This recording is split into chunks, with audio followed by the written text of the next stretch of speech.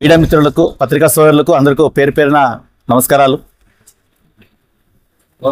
మనం ప్రతిరోజు చూస్తూ ఉన్నాం కూటమి అభ్యర్థులు ఆదోని అభివృద్ధి జ- జరగలేదని చెప్పేసి చెప్పడం జరుగుతూ ఉంది. ఈరోజు మేము ఒక మాటలతో కాకున్నట్టు చేతల పని చూపించినాం చేసినాం ఈరోజు. ఎందుకంటే మా ఎమ్మెల్యే సాయిప్రసాద్ రెడ్డి గారు ఏదైతే అభివృద్ధి చేసినారో అవన్నీ కూడా వీడియో రూపంలో తీ- తీస్తూ వాటిని ఏదేది ఏ ఏ దానికి ఎంతెంత డబ్బులు ఖర్చు పెట్టినాడో ఎమ్మెల్యే గారు ఆయన ఎమ్మెల్యేగా గెలిచిన తర్వాత ఆదానికి ఏ రకంగా అభివృద్ధి చేసినారని అన్ని రికార్డు చేసుకొని తీసుకొచ్చినాం. ఇప్పుడు మీకు మీడియా ముఖంగా తెలుపుతా ఉన్నాం. ఆద ప్రతిపక్షాలకైతేనేమి ప్రజల ప్రజలకైతేనేమి. ముఖ్యంగా మెడికల్ కాలేజ్. నాలుగు వందల డెబ్బై ఐదు కోట్ల రూపాయలతో మెడికల్ కాలేజ్ తీసుకురావడం జరిగింది. ఇది కని విని ఎరగని రీతిలో సాయిప్రసాద్ రెడ్డి గారు ఆయన ఎమ్మెల్యేగా గెలిచిన తర్వాత ఆదోని ప్రజలకు ఇవ్వడం జరిగింది. రెండవది ఆరేకల్ దగ్గర మైనార్టీలకు రెసిడెన్షియల్ స్కూల్ దాదాపు పద్దెనిమిది కోట్ల రూపాయలతో ఐదో తరగతి నుంచి పదో తరగతి పిల్లలకు అక్కడే రెసిడెన్షియల్ స్కూల్. తర్వాత బైపాస్ రోడ్డుకు దాదాపు రెండు వందల యాభై కోట్ల రూపాయలతో బైపాస్ రోడ్ అలాగే రామ్జల కేంద్ర కేంద్ర ప్రభుత్వం మా స్టేట్ ప్రభుత్వంతో రెండు టైప్ అయి రెండు కోట్ల నలభై లక్షల రూపాయలతో పర్యా పర్యాటక కేంద్రంగా దాన్ని చేయడం జరిగింది. అలాగే వంద పడకల హాస్పిటల్ అంటే కేంద్ర నిధులు స్టేట్ నిధులతో దాదాపు తొమ్మిది కోట్ల రూపాయలు. దాంతో పాటు మాతా శిశువు హాస్పిటల్ దాంట్లో ఏడు కోట్ల రూపాయలు. అంటే కేంద్ర ప్రభుత్వాన్ని స్టేట్ ప్రభుత్వాన్ని ఒప్పించి డబ్బులు తీసుకొచ్చిన గనుడు సాప్రసాద్ రెడ్డి గారు. అలాగే పాలిటెక్నిక్ పాలిటెక్నిక్ కాలేజ్ ఆ కాలేజ్ దాదాపు ఐదు కోట్ల ఎనభై లక్షలు. అలాగే కస్తూరిబా వొకేషనల్ జూనియర్ కాలేజ్ కోటి అరవై లక్షలు. అలాగే మహావీర్ కాలనీలో ఎనభై లక్షలతో పార్కు. అలాగే రాయనగర్లో కోటి రూపాయలతో హెల్త్ కేర్ సెంటర్.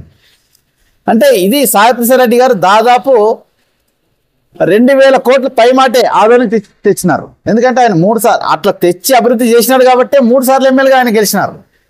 గతంలో మాదిరిగా ఏదో చూమంతరు చేస్తే కాదు ప్రజలు ఇప్పుడు నమ్మే పరిస్థితి లేదు. ఎవరైతే ఆదోనికి అభివృద్ధి చేస్తారో ఆ నాయకుడికి పట్టం కట్టి ముందు మళ్ళా కూర్చోబెట్టడం జరుగుతూ ఉంది. అభివృద్ధి జరగలేదని చెప్పే నాయకులంతా కూడా కుటుంబ భర్తలే ప్రజలు కాదు.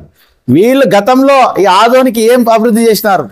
మటకాన్ని ప్రోత్సహించినారు సారాన్ని ప్రోత్సహించినారు ప్యాకాన్ని ప్రోత్సహించినారు. అన్ని రకాలుగా అసాంఘిక శక్తులుగా నిలబడినాయి.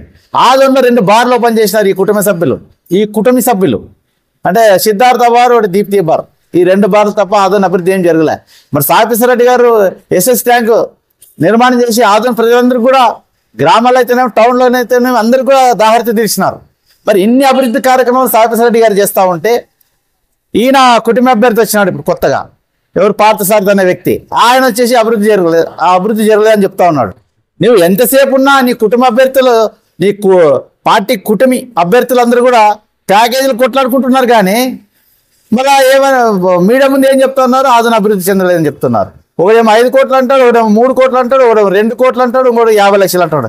ఇట్లా డబ్బులకు కొట్లాడుతూ వస్తున్నారు కానీ గతంలో కూడా మనం మీడియాలో చూసినాం చాలా ఛానల్లో వచ్చినాయి అవి టికెట్లు అమ్ముకునే దానికి ఇవి మీరంతా కూడా కరప్షన్కి అలవాటు పడ్డట్టున్నారు ఈ ఇది కాదు మనకు కావాల్సింది. ఆదోని చాలా సెన్సిటివ్ ఏరియా ఇక్కడ గతంలో ఈ ఈ Adoni area industrial area Telugu Desam ప్రభుత్వంలో అన్ని బంద్ అయినాయి.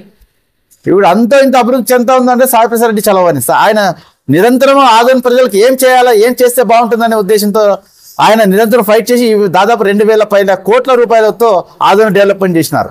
ఈ చరిత్ర మీకు ఉందా? ఆదోన్లు ఎక్కడైనా శిలాఫలకం వేసినారా? ఒక్కటి కూడా లే. రావడమో మీడియా ముందు కూర్చోవడం ఏమి తెలుసుకోరు. వెనక ముందు తెలుసుకోరు వాళ్ళు ఎవరో. కొంతమంది వాళ్ళు స్లిప్ ఇస్తే ఆ స్లిప్ చదువుకొని కూర్చోవడం చెప్పడము వెళ్ళిపోవడం. అది కాదు కావాల్సింది. మీరు మీ పార్టీ గెలవాలంటే ఆదోళనలో ఏం చేస్తారు? గతంలో ఏం చేసినారు? ఇవన్నీ చెప్తే ప్రజలు కూడా హర్షిస్తారు. ఇవన్నీ ఏమిలే? రావడము మీడియా ముందు కూర్చోవడము ఏమి అభివృద్ధి జరగలేదని చెప్పడం. ఫస్ట్ మీరు జనాలు తన్నే పరిస్థితి వస్తుంది. ఎందుకంటే ప్యాకేజెస్ ప్యాకేజీలు కొట్లాడుతున్నారు టికెట్లు కొట్లాడుతున్నారు. ప్రజలకు ఏమి చెప్పరు. మేము ఏం చేస్తామో రేపు మా అధికారం వస్తే ఏం చేస్తాం? మా అధికారం రావడానికి ఏం ప్రయత్నం? ప్రజలకు ఏం హామీ ఇస్తాము? నేనేం హామీ ఇస్తే జనాలు నాకు ఓట్లు వేస్తారని? అవన్నీ ఏం చెప్పరు. రావడం సాఫీసర్ రెడ్డి గారి మీద నిందేయడం పోవడం. నిందేయడం పోవడం. ఆదోని ప్రజలు అంత ఈజీగా మిమ్మల్ని ఆస్వాదించరు. ఎందుకంటే ఈడ అభివృద్ధి చేస్తున్నాడు కాబట్టి సాఫీసర్ రెడ్డి గారు మీరు ఎన్ని విమర్శలు చేసినా ఆయనకు ప్రజలు బ్రహ్మరథం పడతా ఉన్నారు.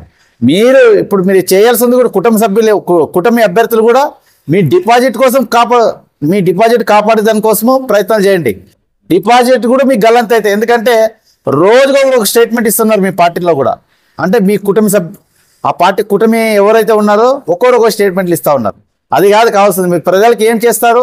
ఆదోని ప్రజలకు ఏమి సమాధానం చెప్తారో మీరు ఏమి చేస్తే మీ ఓట్లు పడతా అది ప్రయత్నం చేసి ఆరుకంగా ఆరుపంగా మీరు ముందుకెళ్తే బాగుంటుందని మీడియా ముఖంగా తెలుపుతూ నా పేరు బి దేవ వైఎస్ఆర్సీపీ ఆదోని పట్టణాధ్యక్షులు